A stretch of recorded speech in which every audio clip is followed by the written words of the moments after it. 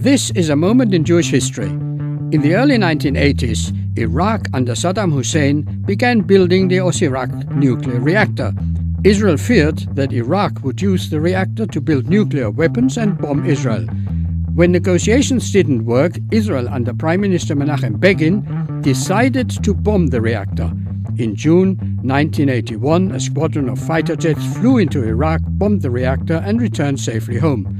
The successful mission was met with praise in Israel, but condemnation from other countries. These same countries later thanked Israel during the 1991 Gulf War when Iraq's further plans were revealed.